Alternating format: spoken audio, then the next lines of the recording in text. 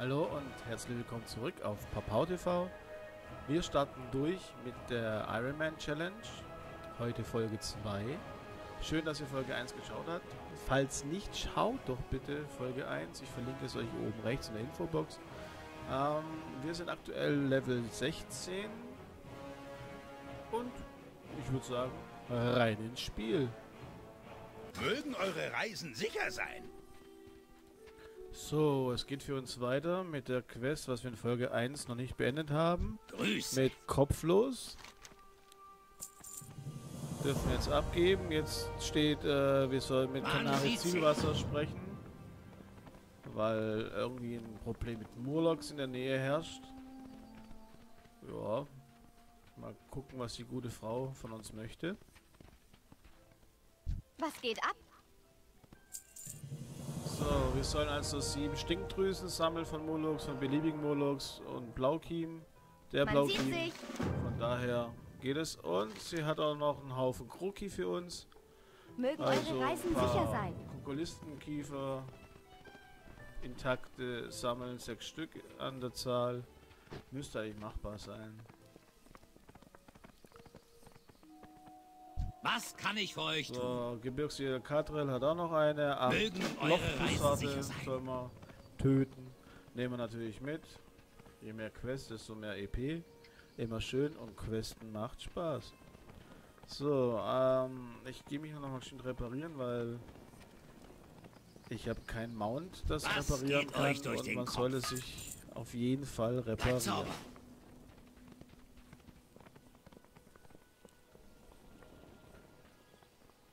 Finde es immer noch faszinierend, was man alles so wahrnimmt an Umgebungsgeräuschen, an Grafikdetails. Und es ist einfach sagenhaft, die Welt neu zu entdecken. Es ist schön. Ähm, bei der Nicht-Ironman Challenge wäre ich jetzt einfach runtergesprungen und hätte es überlebt oder auch nicht. Das wäre mir ja egal gewesen. Man wird vorsichtiger, wenn man die Ironman Challenge spielt, da man ja nur ein Leben hat. So, schauen wir mal, der Schwarzbär, ob der uns angreift. Sieht nicht so aus. Ist schon mal ein gutes Zeichen. Ah, da ist schon der erste, aber wir gehen ein bisschen nach links und fangen an links uns durchzukloppen, weil wir brauchen ja immerhin ähm, sieben Stinkdrüsen eines Murlocs oder der Murlocs. Somit schauen wir mal, beim ersten war nichts dabei. Ich sehe gerade, da ist noch eine Quest. Mal schauen, wo die sich versteckt. Äh, ah, da links ist eine Schriftrolle. Die Schriftrolle, was ist das für eine Schriftrolle? Forscherliga 2 von 6, okay. Also müssten hier im Gebiet auf jeden Fall sechs Stück verteilt sein, wenn es die zweite von sechs ist. Schauen wir mal, ob wir bei dem Mob unsere erste Stinkdrüse bekommen. Wieder keine Stinkdrüse dabei. Das kann ja was werden, aber es macht Spaß. Das ist Ah. zu weit entfernt. Iron Forge mal wieder. Es ist zu weit weg. Geh näher ran. Es ist faszinierend. Und? Haben wir Glück? Wieder kein Glück. Drei gelegt. Noch keine Stinkdrüse am Start. So, Mob Nummer 4. Schauen wir mal, ob der Blaukiemwanderer etwas für uns hat. Die erste von sieben. Fein, fein, fein. So macht das Spaß. Ich bin froh, dass ich mir einen Jäger ausgesucht habe als ersten Char, der für mich die Ironman Challenge spielt. Denn ich mag Chars mit Begleitern. Ich mag auch Fernkämpfer. Ich bin jetzt so der Nahkämpfer. Ich bin eher auf Distanz. Und der Vorteil ist halt, bei der Ironman Challenge, erst kriegt mein Pet was ab, dann, wenn es tot ist, was ich nicht hoffe, da ist ja immer brav heil, bekomme ich was ab. Yeah, und wir sind schon bei drei Stinkdrüsen. Nur noch vier.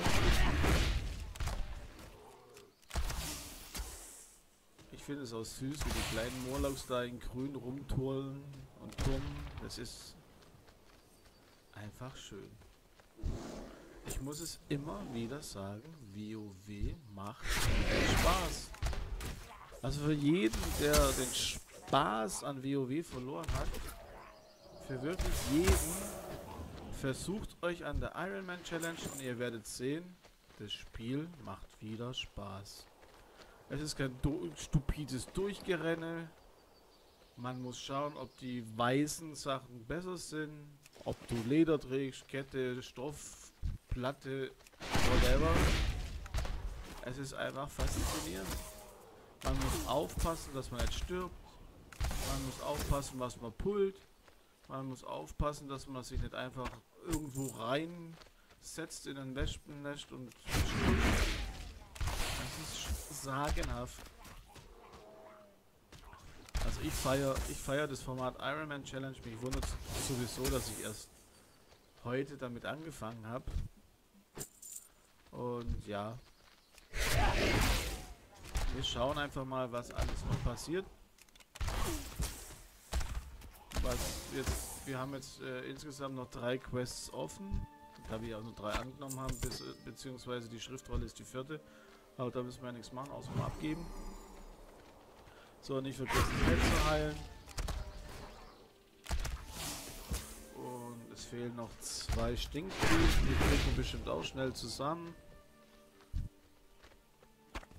Und es fällt einem immer mehr auf, wie groß diese Gebiete doch sind. Als es nicht diese, dieses angepasste Leveln gab, dass die äh, Mobs mit, mit dir steigen, ist man einfach durch, durch Lochmu dann durchgerannt und hat gesagt, so, schön war's, ich bin dann mal weg. Jetzt kann man wirklich Quest für Quest schön durch das Gebiet questen. Man, man hat Spaß. Es ist einfach sagenhaft.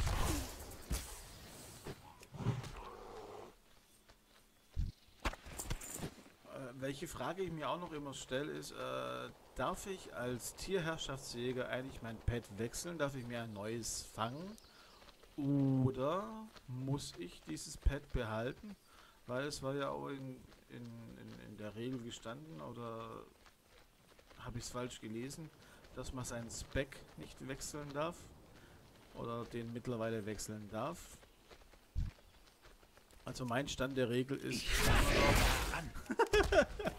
ah, ich muss näher ran. Also mein Stand der Regel ist immer noch der 8. Junior. Und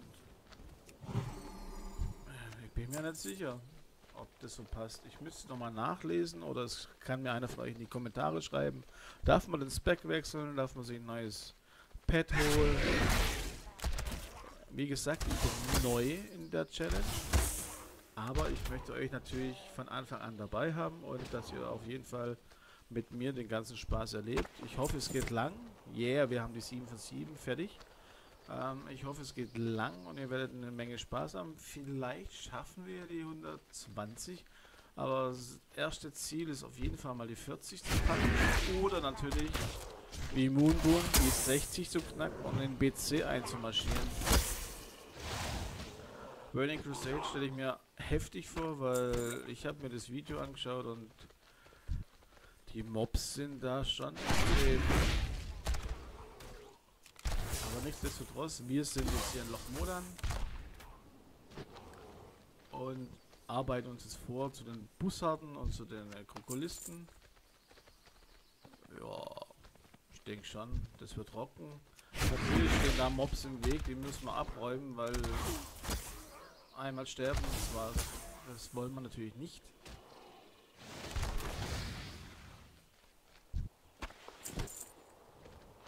Ähm, was ich mich auch noch frage bei der Challenge, darf ich den Beruf Schneider erlernen, um Erste Hilfe zu auszuüben?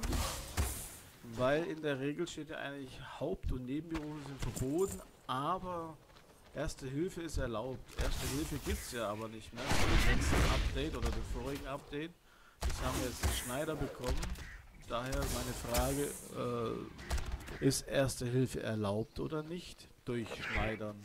Ich will es jetzt riskieren, ich möchte, ich, ich benutze keine Add-ons, ich benutze keine Hilfe. Ich benutze nur das, was ich bekomme von, von Blizzard, von den Händlern und was die Mounts, die Mounts, was die Mobs natürlich droppen. Und sie natürlich nur weißes und, und graues Gear an, so dass nichts schief gehen kann.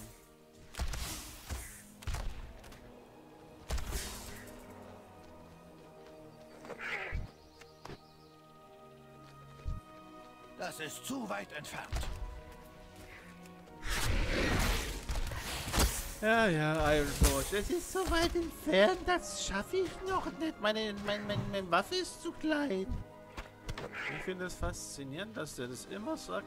Ich muss immer darauf achten, ob ich wirklich zu weit weg bin, aber meines Erachtens drücke ich rechtzeitig, sobald mein, mein äh, Menü unten weiß ist und immer rot.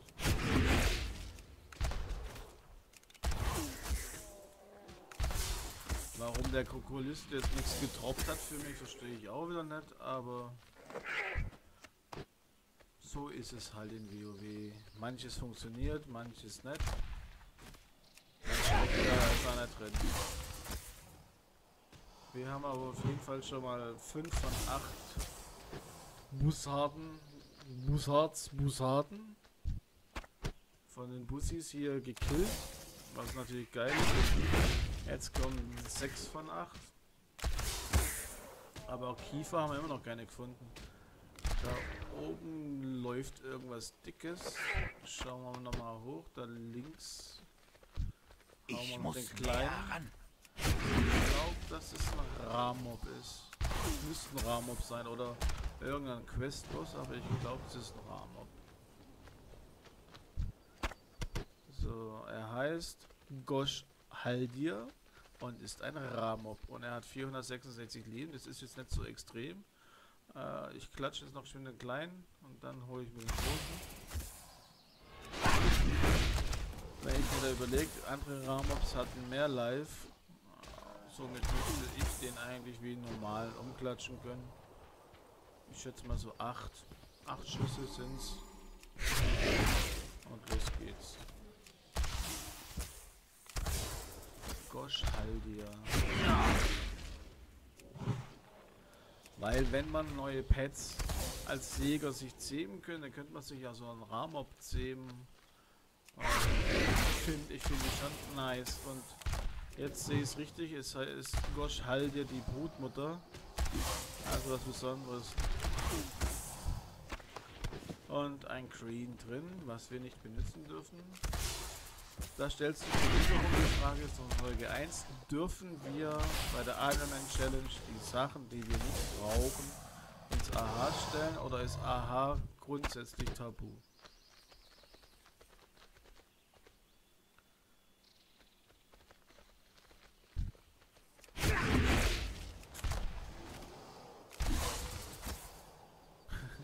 Die Schlange jagt den kleinen Frosch auch nicht schlecht.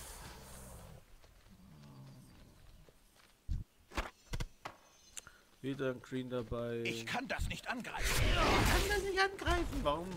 Weil ich natürlich die Leiche ausgewählt hatte und nicht den neuen Bussard. Das war diesmal mein Fehler, ich habe aufgepasst. Aber das mit der Entfernung, ich glaube, es ist ein Fehler von WoW. Aber ich finde es immer witz, witzig, wie, wie ein Forscher hier so rummeckert. Äh, Das geht so weit, das schaffe ich nicht.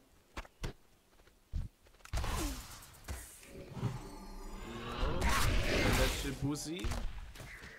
Dann haben wir auch 8 von 8 und dann fehlen noch zwei Kiefer und dann können wir zurück und abgeben. Gott sei Dank sind die Bussis gelb markiert und nicht rot, weil sonst würden die mich hier ständig angreifen. Äh, Kroko, komm zu mir. Kroko, Ich bin außer Reichweite. Ah, jetzt ich wieder nicht aufpasst, ob's reicht. Ich habe kein Genau. Ziel. Ich habe kein Ziel, ist ja schon tot. Ja, so ist es halt. So, ich bin noch rot, jetzt bin ich weiß. Da passt. Also ich hoffe, es stört euch nicht, dass ein Forscher ständig meckert, dass es ihm zu weit ist und dass er kein Ziel hat und so. So ist es halt im Spiel. Wenn immer alles 100% spielt, sind, dann wäre man Pro-Gamer und wird seine, seine 100.000 Scheffel im Jahr. Da ich aber Hobbyspieler bin und das hier nur aus Spaß mache und euch mit meinem mit meinem Quatsch, den ich hier absolviere, unterhalten möchte, denke ich, dass es okay ist. So, wir sind fertig. Wir laufen nach Hause. Besser gesagt zum Questgeber und geben ab. Ey, ist schon faszinierend, wie groß dieses Schilfgras ist, wenn man als Zwerg durch die Gegend rennt. Sogar ein Busch ist größer als man selber. das ist faszinierend. Bevor mich diese Spinne hier angreift, greife ich sie an. Weil wie heißt so schön, Angriff ist die beste Verteidigung. Von daher alles, alles im Grün. Noch ein bisschen umschauen. Der Schwarzbär ist mir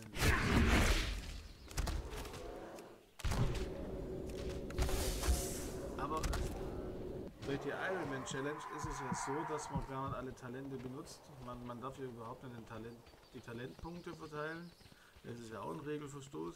Man spielt somit ohne Talente und die Grund Grundfähigkeiten sind halt cool, weil die verändern sich ja eigentlich nicht. Also pro Tag muss man keine großartig fahren, man handelt situationsbedingt.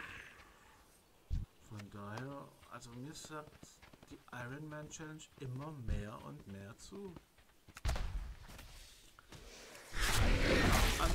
Umkloppen. Ist es dann schon Mobbing, wenn man die ganzen Mobs ummobbt oder ist es alles noch legitim? So, wir haben fast geschafft. Seltsamer ist schon in Sichtweite. Letzten Bär vor uns. Und dann geht mal die vier Quests ab und schauen mal, was für ein Level wir dann erreicht haben. Weil ich würde sagen, wenn wir dann Level 17 sind, ist es schon mal nicht schlecht. Aber hier traue ich mich runter zu hüpfen, weil es ist nicht so hoch. Ich habe auch null Leben verloren. Von daher, Redet Servus mit mir. Morgen, alles klar. Der Herr Seid auf der. Hut. Wenn man es falsch ausspricht, ist es einfach nur ein Querkiffer. ja, mal einen Dübel durchziehen. Der Schlingel.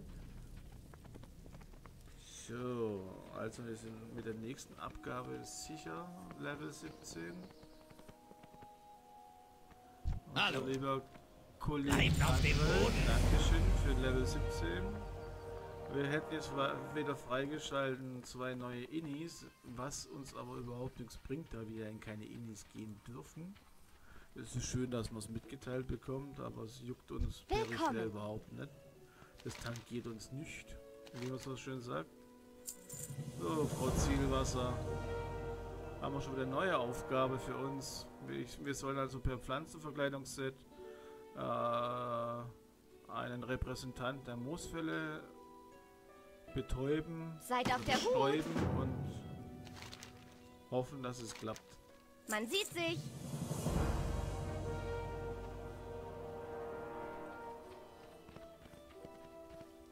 Was kann ich heute für euch tun? Das übliche Spiel. Wir verkaufen unseren Beutelinhalt, leeren unsere Taschen, achten darauf, dass wir auf jeden Fall kein weites Teil verkaufen, was wir brauchen könnten. Den Rest können wir rausklatschen, weil ich glaube, dass wir eh nicht ins AH dürfen mit unseren Sachen. Dann kaufe ich die Sachen einfach hier. Theoretisch könnte ich ja das Fleisch für meinen Bären aufbewahren, aber mein Bär, der isst natürlich auch Brot und Käse, was für mich überhaupt kein Problem ist. Fort mit euch. Fort mit euch! Herr Ofenglut, wie nett von dir! Fort mit euch! Kann man auch höflicher sagen. Fort mit euch! Geht euren Weges, edler Herr! Das wäre für mich vornehm und höflich. Fort mit euch. So, schauen wir mal rein, was in Canaris Vorrat dran ist. Da haben wir die Pflanzenverkleidung und das Pheromon. Das starke. Da bin ich mal gespannt, was das wird.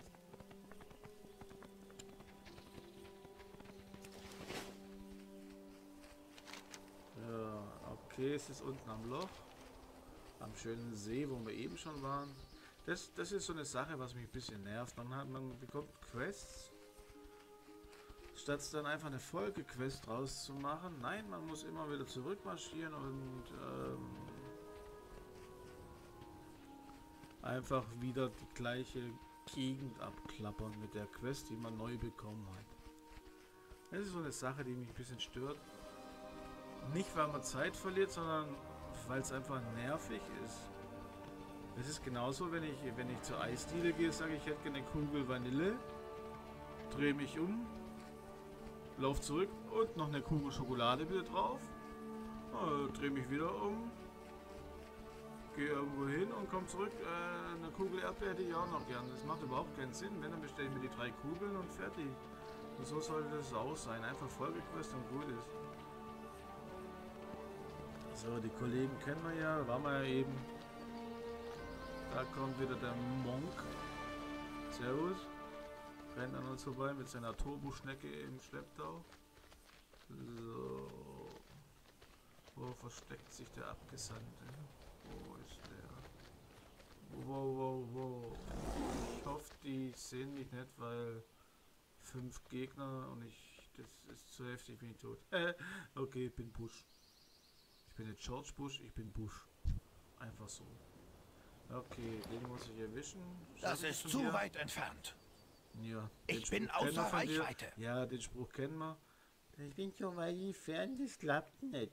Jetzt hoffe ich nur, dass ich keine Aggro ziehe und dass sie nicht auflöst. Okay, das passt. Der Busch bleibt. Ich bin ein laufender Busch, dass sie das nicht erkennen. Das ist auch ein bisschen witzig. So, schauen wir mal. Ist das weit genug?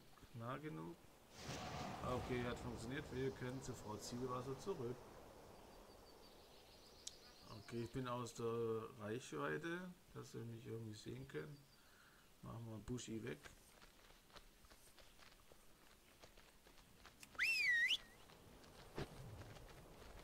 So, ich hoffe, der Moloch erwischt mich nicht. Nee, hat sich umgedreht.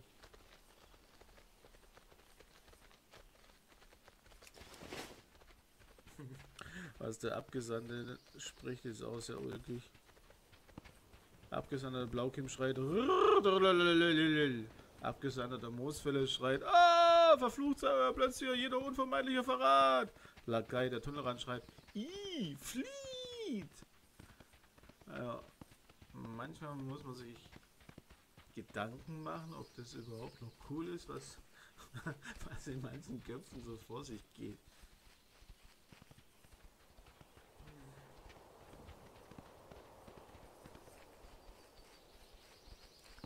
So, wir sind gleich zurück und geben die Quest, die Achse des Grässlichen ab.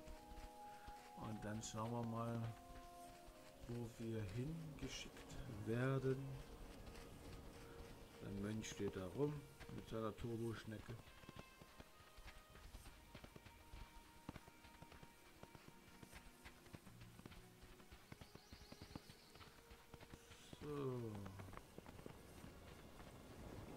Samar. Das kleine Dorf am Loch. am Loch.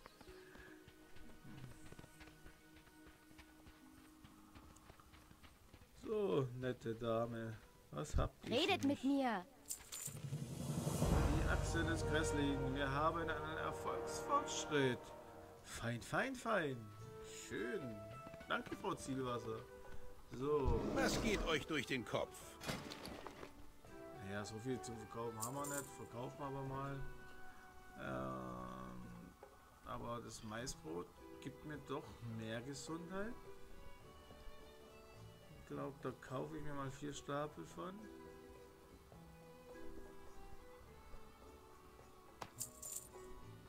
Die verkaufen wir zurück. So. Schön Ordnung. Seid auf der Hut. Ja. danke, dass ihr Teil meines Abenteuers wart. Der Ironman Challenge mit meinem Jäger. Äh, ich freue mich immer noch über Kommentare und natürlich auch Kritiken. Lasst mir bitte einen Daumen nach oben da, wenn es euch gefallen hat. Gebt mir auch gerne einen Daumen nach unten, wenn es euch nicht gefallen hat. Aber wenn ihr einen Daumen nach unten gebt, schreibt bitte, warum. Es bringt mir nichts, wenn ein Daumen nach unten da ist und ich habe keine Ahnung wieso. In diesem Sinne, wir sehen uns in Folge 3.